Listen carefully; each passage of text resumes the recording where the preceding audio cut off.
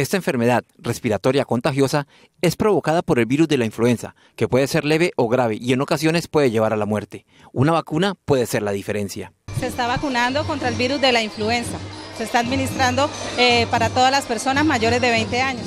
Eh, es muy importante porque ella ayuda a crear defensas contra el virus de la gripa. El biológico puede ser aplicado desde los 20 años, aunque hay que cumplir ciertas normas para que tenga el efecto deseado. Es muy importante que aquellas personas que sufren del corazón o aquella persona que tenga la gripe no se la debe aplicar. Es la única contraindicación. Desde los 20 años hasta todas las edades. Ajá, de ahí en adelante. Recuerde, si usted tiene fiebre, tos, dolor de garganta, secreción o congestión nasal, dolores corporales y de cabeza, escalofríos o fatiga, pueden ser síntomas de esta enfermedad.